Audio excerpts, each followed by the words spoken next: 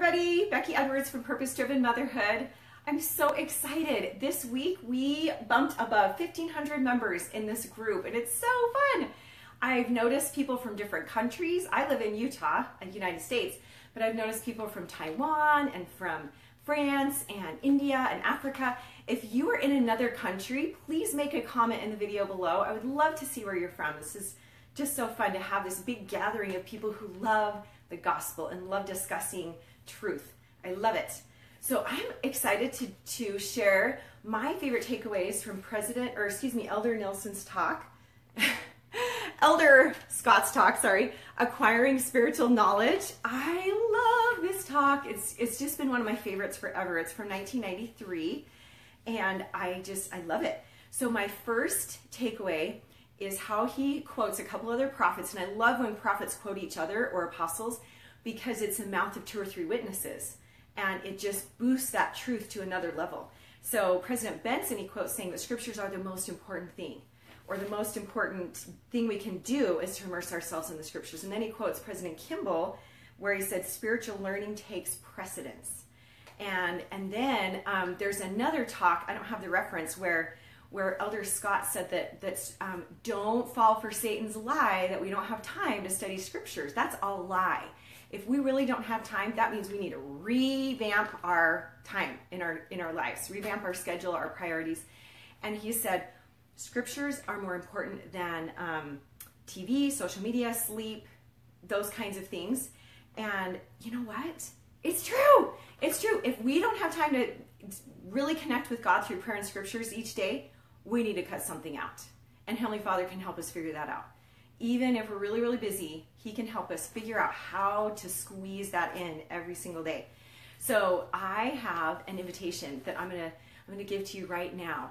And I I was asking my family's help today to make this into a rhyme. But I don't know about you, but for me, Satan can distract me from not doing scriptures right away when I when I really should. I would love to start my day right away with scriptures or the first opportunity that I have right away. Where instead, I, it's really easy to get distracted, and a lot of that distraction has to do with technology. And, you know, whether it's Facebook, email, texting, um, checking the weather on the phone, whatever it is, and then it's really easy to get pulled away and not make as much time or not do it as early in the day as I planned on um, for my deep connecting prayer and scripture study. So, my challenge to all of us is to make scriptures and prayer such a high priority in our morning that we don't do don't turn on any technology or I guess it could be turned on, but we don't look at it. We don't look at the technology gadgets until we've connected with God. So the little saying that my husband came up with was before tech connect, before tech connect, and I thought that was super cute. In fact, I'm going to do a contest that if any of you want to enter, um, let's let's say by mm, Friday of this week. Friday of this week, if anybody would like to enter and make like a Mormon ad kind of meme, which a meme is a picture with words, um, then I would love to see some ideas about how we can make this into a picture before tech connect. Um, I just love that idea. So, and, and I have a little prize right here, which is a little oil lamp straight from this, the old city of Jerusalem. I, I purchased this myself and I will personally mail that to whoever wins that contest. Okay, so now I want to talk about principles. This is such a powerful talk about principles. Oh my goodness, so, so powerful. So I want to show you an object lesson that I've taught my seminary kids about principles. And that is that a gold miner, when they're in the cave and they're looking for gold, the rock is really important because the little veins of gold, let's just pretend there's veins of gold in this rock. The little veins of gold are in the rock. They're embedded in the rock. So the rock's a big deal. It's important to them, but it's not the most important thing to the gold miner, right? What they're looking for is the gold. And it's just like that with principles and scripture stories. The scripture story is like the rock. It's important, but the most important thing are the principles that we find inside the stories. I love that. And I'm telling you right now, if you've never searched for principles as you study the scriptures, try it, practice it, and experiment with it, play with it because it brings the scriptures to a whole new level. It helps them be so much more meaningful, so much more applicable to your life, and it anchors them into your heart in ways that you can't get if you just read the stories. If you look for principles and, and you you take the time, like Elder Scott says, to write them down, um, then you will just it'll it'll just be such a delicious experience. So, um, here are a couple of ideas of how. Oh, actually, I love. I want to just um, share what I love about what Elder Scott says about principles. That principles are concentrated truth packaged for application. Uh, I'm paraphrasing in a wide variety of circumstances. This is paragraph six. Um, they, the principles make de- uh, decisions clear, even if like the, there's confusion around that decision. Principles help bring clarity, which is really cool, and it's worth a lot of effort to organize truth into simple statements of principle. I love it. So my oh, I want to show you also a little book that Elder Nelson, excuse me, Elder. I don't know why I keep calling him that. Elder Scott wrote. Hi guys, thanks for your little uh, hearts and thumbs up. So Elder Scott wrote this, and it is called 21 Principles, Divine Truths to Help You Live by the Spirit. It's a beautiful, beautiful book. He also wrote, wrote lots of cool talks that have to do with this. So I'm going to show you a couple of several places that you can write principles. The, the easiest one, I think, is just in the margins of your own scriptures or the margins of your talks that you're studying. So you kind of highlight and then maybe, you know, write a little uh, paraphrase of the principle in the margin and then make a little arrow or a line that goes to the verse that you're that you're talking about. So um, one way that's easy to a little question that's easy to help you find principles is what's a life lesson here? What's a life lesson from this story? What is or another one is what's this author trying to teach me? So a life lesson or what's the author trying to teach me? So um, I'll share one example. First Nephi 3 7.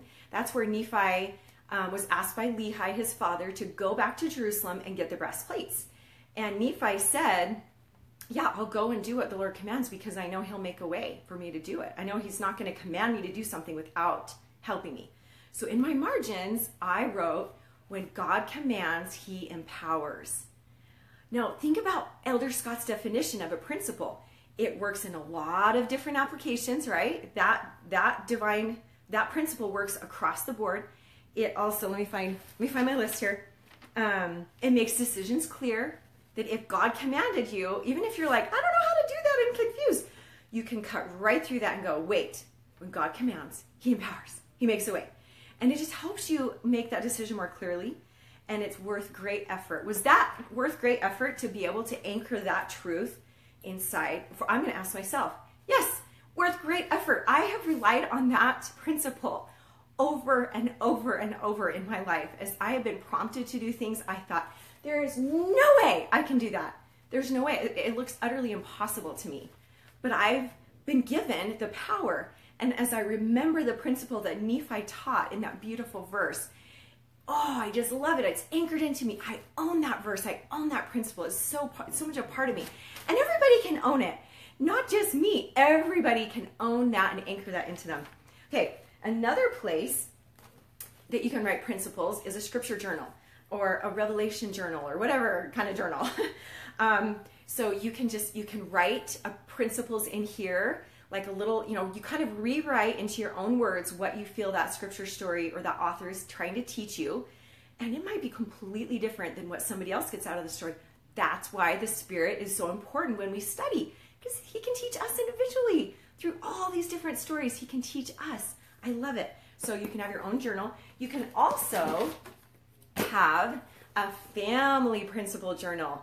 Now, I got this idea from Hank Smith, who is um, who has a, a CD that I highly recommend about finding principles in the scriptures. It's called Scripture Power, and I even got permission um, to play part of that for my seminary class because it, it just well, he's hilarious for one thing, but he does a really good job of helping you understand why looking for principles is so powerful. So he recommended getting a family scripture, a family principle journal. So I'm just going to read a couple of the principles that we found. Let's see.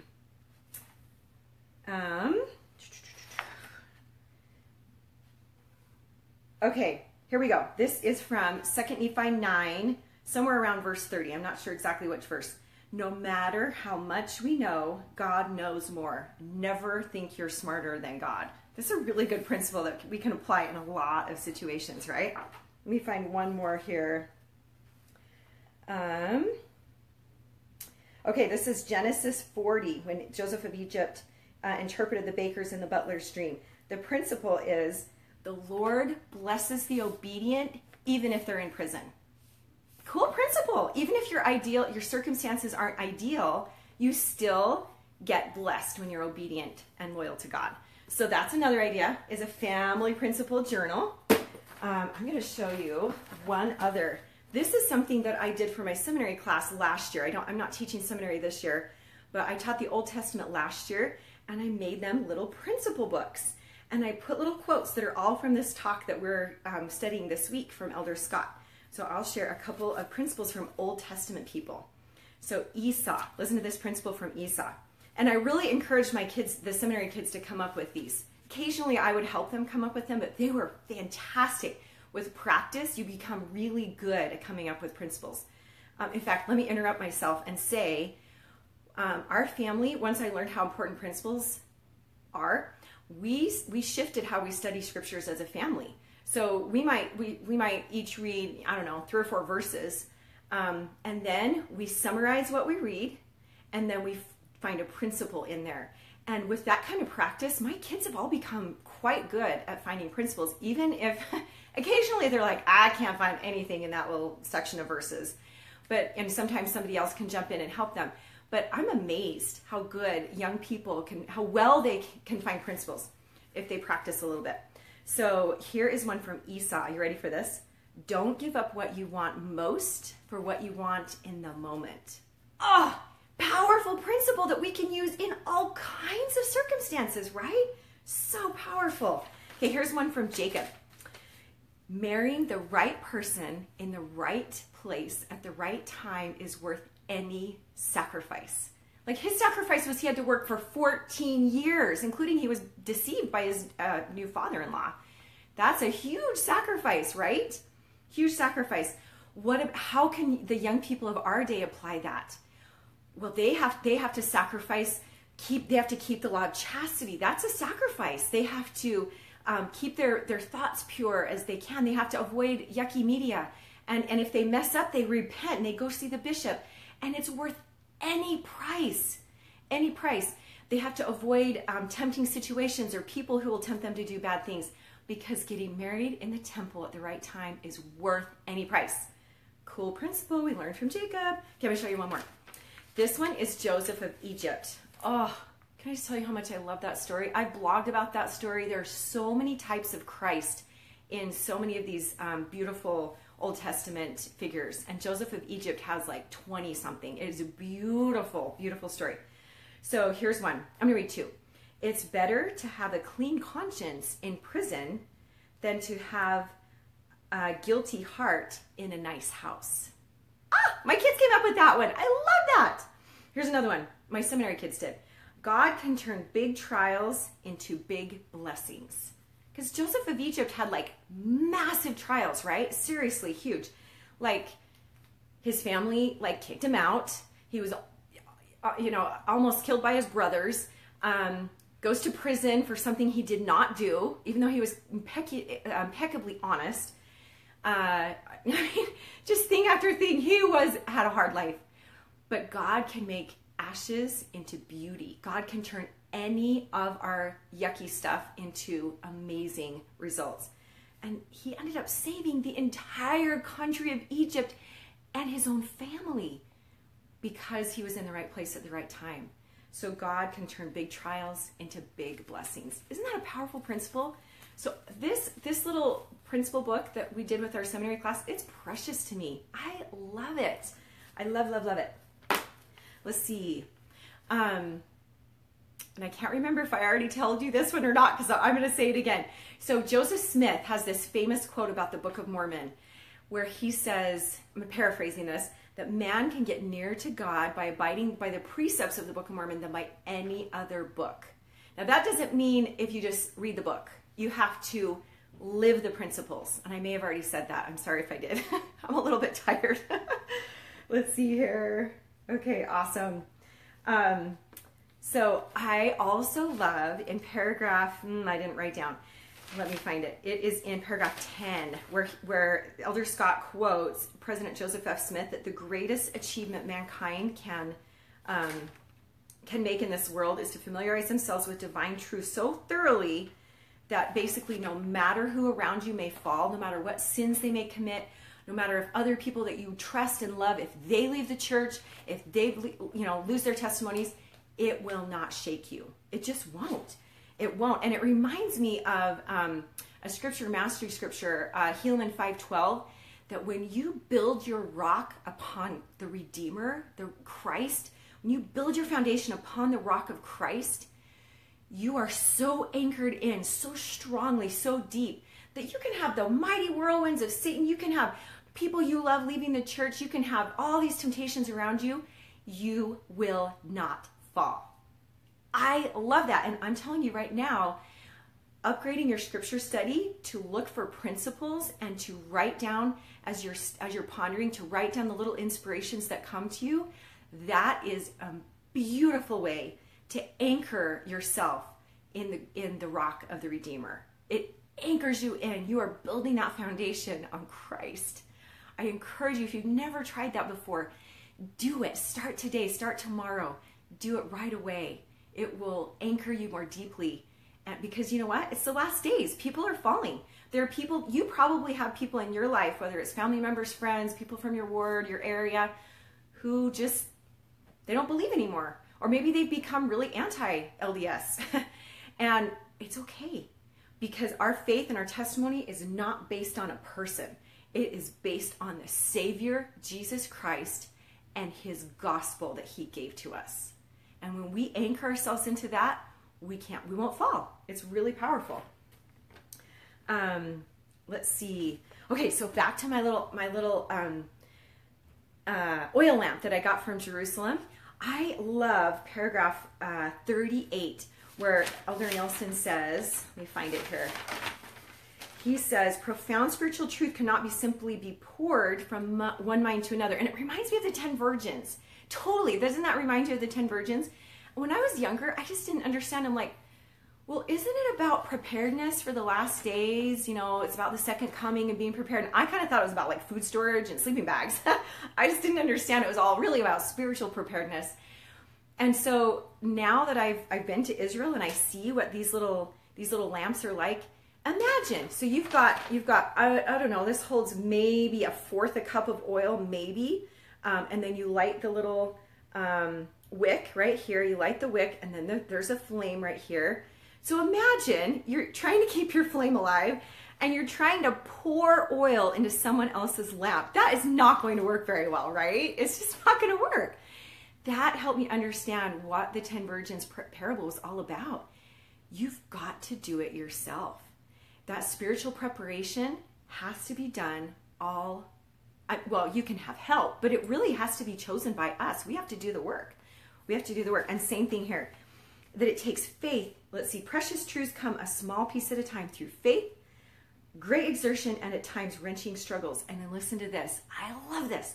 The Lord intends it to be that way so we can mature and progress. It's part of the plan. It's part of the plan that it takes work and effort, and the answers don't always come all in one big package immediately. It's part of the plan that we get little bits as we work for them. And it reminds me of a quote that I heard. I don't even remember who said it, but I love it. And it was God cares more about our progress than he cares about our comfort because he wants us back. That's what this life is all about. Help us transform into beings who are worthy to be in his presence forever. That is awesome. So if it takes extra work, for us to fill our own little lamps up with drop and drop and drop of oil, like President Kimball has talked about, and now Elder Scott. That's great. It's part of the plan. Let's do the work. And it is delicious. It can be truly delicious. Okay, my last takeaway is from the last page. I'm going to um, tell share my principle from paragraphs 41 through 45. This is a really cool section where he's talking about his um, his versions of what we should do to really treasure the truth and help it anchor in and all that kind of stuff.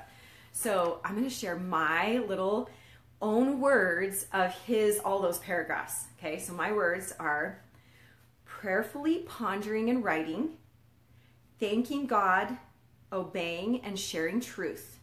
So this is all about truth. When we prayerfully ponder about truth and write about it, and for me, pondering and writing happen a lot at the same time. And if I thank Heavenly Father for truth, and then I obey it and I share it, and it's easy to share just in family home evening or in testimony meeting or in a Relief Society lesson or on Facebook or find a meme or, or just share this. Hey, I, this is so cool. If you're a blogger, that's an easy way to share truth.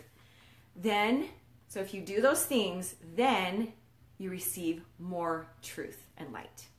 Isn't that beautiful?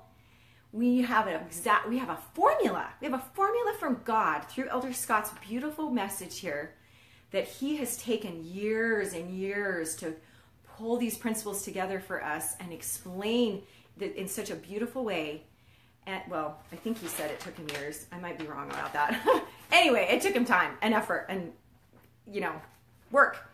And then and now we have this formula, this beautiful formula that prayerful I'm going to I'm going to count them on my finger. I have six little things in this list.